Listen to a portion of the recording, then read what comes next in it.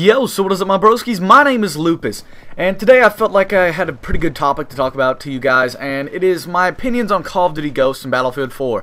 As a lot of you guys know, I do have a comparison video that I will be putting up soon that I'm working on, that I said that I was going to upload the second part to after E3, and it will be up soon, so don't worry about that, it'll probably be up sometime this week, I hope you guys will like that, but this video is mainly about my opinions on both of them. Which one do I think is better? And I, I don't really keep it a secret. In some of my old videos, I have said Battlefield 4 was better. And that is the truth. I just am not satisfied with Call of Duty. That's not to say the game is bad. I don't feel like it's going to be a bad game. But it is going to make some changes to my channel now. And that's why, in parentheses, this video also says restricting COD. Because as much as I loved COD, and as much as it was like the first person shooter that I ever played, it it also was the thing that led me to better games such as Battlefield 4. And without COD, I never would have been there. But now that I've realized the better game, I don't really know if I'm going to be getting Call of Duty Ghosts. Now, the, the reality is that I probably will end up getting it. And I will probably end up getting it after the fact, though. I will not pre-order it. I want to pre-order Battlefield 4's Deluxe Edition, and I only have so much money. And I could pre-order Call of Duty Ghosts as well, but I don't want to. That's the thing. Uh, that doesn't mean that Call of Duty is going to be leaving my channel. It just means that I'm going to be restricting the uploads. As a lot of you guys have been noticing lately, I haven't had that many Call of Duty Black Ops 2 uploads. I might occasionally, maybe once a week, if I just need film right then and, you know, Call of Duty is just really easy to record, then that's what I'll do. I won't have to record multiple episodes like I do on Battlefield or multiple games on Battlefield until I get a good one. On Call of Duty, you just go to the theater and record the best one that you have. And sometimes I will I will take advantage of that and I will use that. But I'm not going to be doing it as much. When Call of Duty Ghost comes around, you guys will probably see me playing Battlefield 4 because that game is what appeals to me. And uh, a lot of you may not like that. I don't know. But I know a lot of you guys are open-minded. A lot of my subscribers are open-minded to both games. And I know that you might be watching this and be like, oh, he's not going to be playing that. At least he has Battlefield, you know? And I'm probably going to be playing Destiny. You know, just be, being able to restrict Call being able to restrict Call of Duty will allow me to play other games such as Destiny and Watch Dogs. I can add more variety to my channel. I have so many uh, extra games in my house right now on my desk that I could easily play something else other than COD. But COD is just what I do because I know a lot of you guys like that. And I still will be uploading COD. I don't really feel like I'm at the point where I can knock it off the table completely.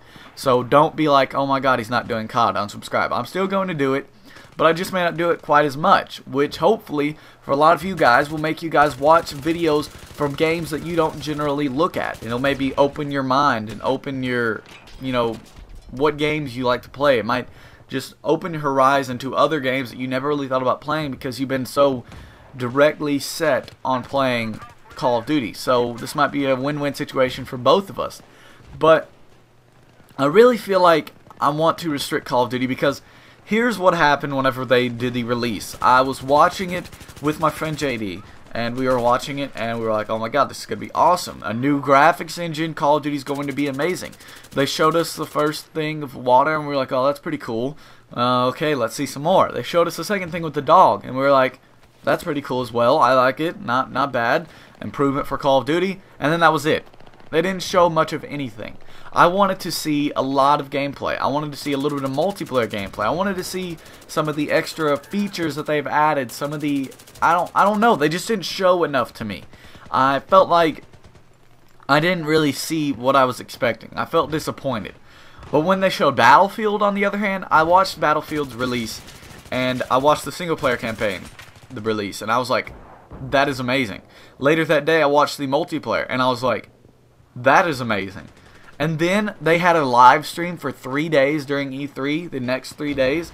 And I was like, Dice, I love you. That That's just all I could think about, guys, because seeing all that they were showing us, that was amazing. They were like, while Call of Duty was like, oh, this is classified, we can't show you.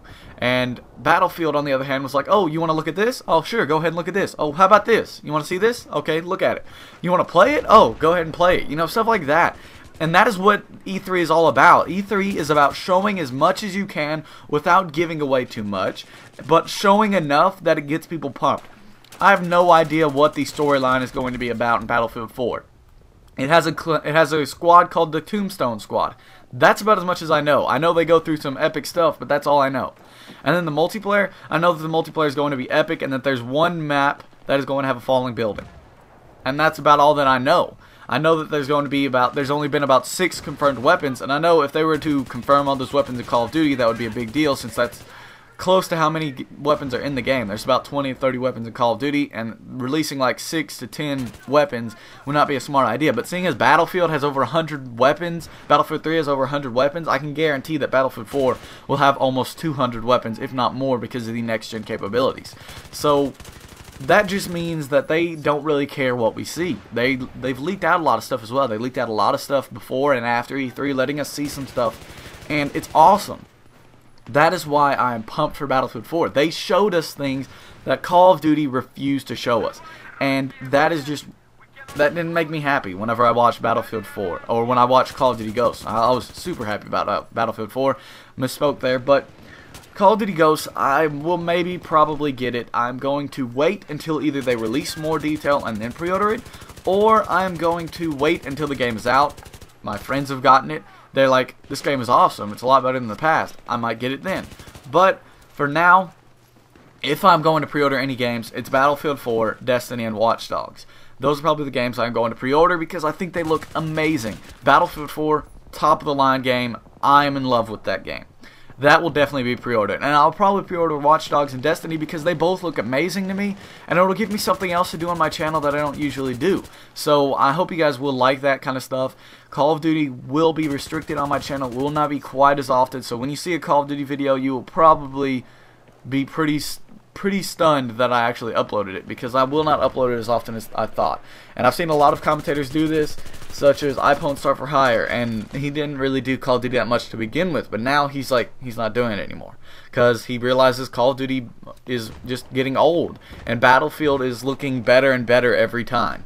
They've taken two years to create a game, and those two years have been well, well used. Infinity Ward, on the other hand, has taken two years to make Call of Duty Ghosts. They, they created a new engine that looked better than the old one, but it looks very, very similar.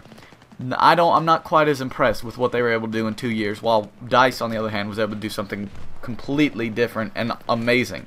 So I hope you guys did like this video. Be sure to smack that like button, get that subscribe button just over to 11 guys. Hope you guys did like the gameplay in the background. I was going ham with the M249 on Noshahr Canals, and a lot of you guys will know that I do get a lot of Noshahr Canals games on Battlefield because sometimes I'll have a video that I want to upload right then and I'll just grab a gameplay on Noshahr Canals because it's impossible to go wrong on that. And that is just, um, just an amazing map. It is more chaotic than anything you'll ever play in Call of Duty and that is a misconception is that Battlefield is slow. And as you guys can see in this gameplay Battlefield is not by any means slow.